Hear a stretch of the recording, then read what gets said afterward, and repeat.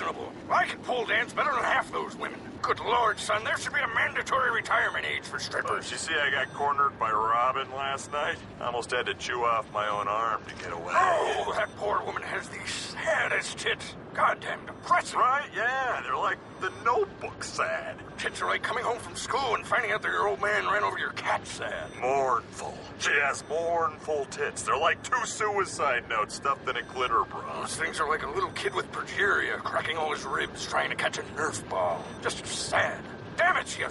Damn it, she has gloomy tits. It's like she put a dollar's worth of change into some old socks and then taped them to her chest. I want to build two little caskets and give her tits a tasteful, dignified funeral.